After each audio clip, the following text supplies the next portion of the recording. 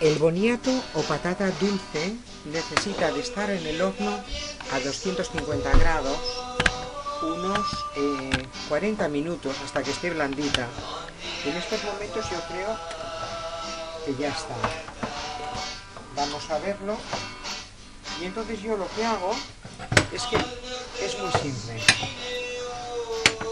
Simplemente está calentito, lo abro así. Veis que está humeando y le pongo un poquito de crema de queso y un poquito de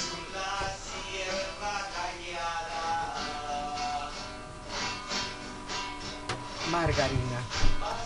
Vamos a arreglarlo, ya veréis, esto está, es una delicia. En principio, un poquito de sal gruesa. Bueno, vamos por partes.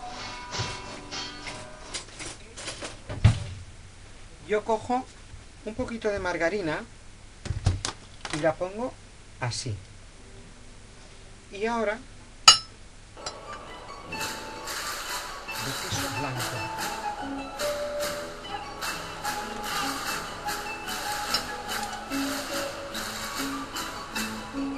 Lo podéis rellenar de lo que queráis.